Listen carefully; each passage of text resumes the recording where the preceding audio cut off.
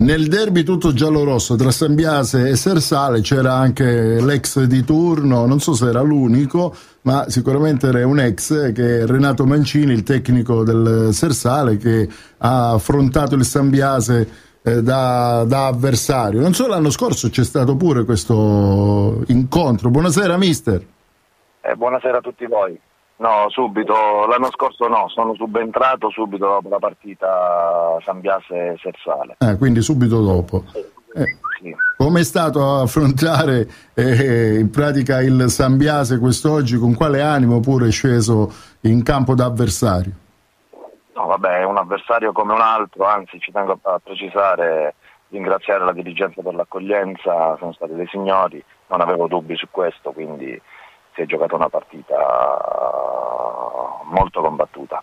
2 a 2 è un risultato giusto alla fine, contento lei? E diciamo che vedo il bicchiere mezzo vuoto mh, relativamente, le spiego il perché. Le spiego il perché perché dopo 5 minuti siamo passati in vantaggio, abbiamo avuto l'occasione per chiudere la partita, ahimè non ci siamo riusciti e dopo il, il San Biase è stato pericoloso su due calci piazzati, due calci d'angolo, nel quale durante il quale ha colto anche una, una, una traversa. E sul finire del tempo, 44esimo, minuto maledetto per il Sersale, abbiamo subito l'1-1. Mm, successivamente, secondo tempo, abbiamo iniziato con il piglio giusto, abbiamo avuto qualche occasione purtroppo fallita, abbiamo preso anche noi una traversa molto, molto strana perché è venuta su un cross, comunque abbiamo avuto anche la palla per chiudere la partita definitivamente sul 3-1.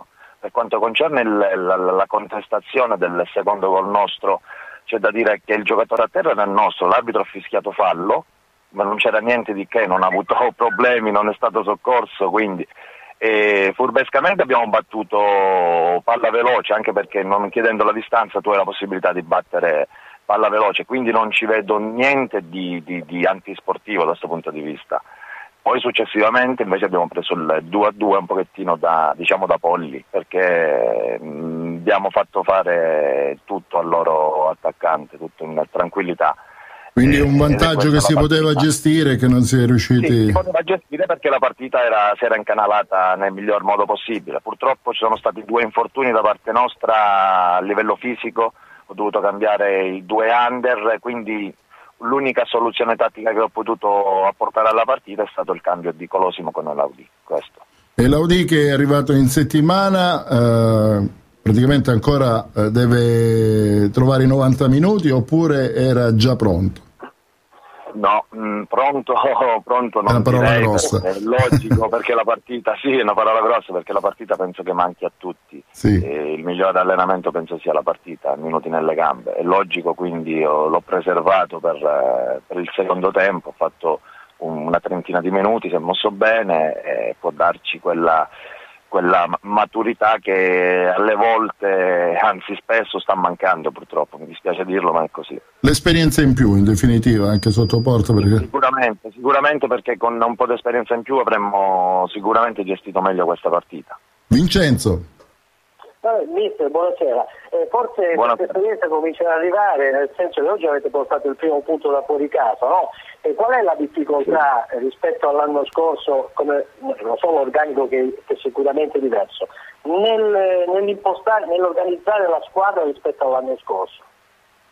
No, l'anno scorso, vabbè, è inutile nasconderlo, secondo me il Sersale era una squadra Ottima. centro alta classifica, sì, una squadra bene o male aveva un attaccante come Angotti, eh, che non, non, sto io a parlarne o meno, anzi un grosso in bocca al lupo ad Attilio per una pronta guarigione, eh, non sto io a parlarne ma parlano, parlano i numeri. Poi avevo Claudio a tempo pieno, avevo gente come, come Lio, e Corosoniti, insomma c'era un'ossatura di squadra che bene o male già si conosceva.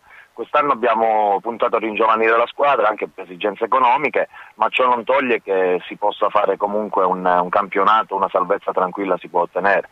Si può ottenere e logicamente buttando il sangue, questo è, e vendendo cara la pelle, perché partite come oggi e partite come come altre siano state precedentemente eh, a questa e alla fine vanno a pesare i punti che ti mancano, questo sì. Bene, mister. Un po' di agonismo in più. Dicevi Vincenzo? Un po' di agonismo in più, ecco, un po' di scaltrezza in più. Sì, ci vuole, bisogna, bisogna svestire un po' i panni eh, di giocatori tante volte, eh, di giocatori diciamo abbastanza estrosi e mettere un pochettino anche quelli da, da lavoratore, in questo senso. Mm, ci vuole, è una categoria dove c'è bisogno di, di corsa agonismo e, e testa soprattutto.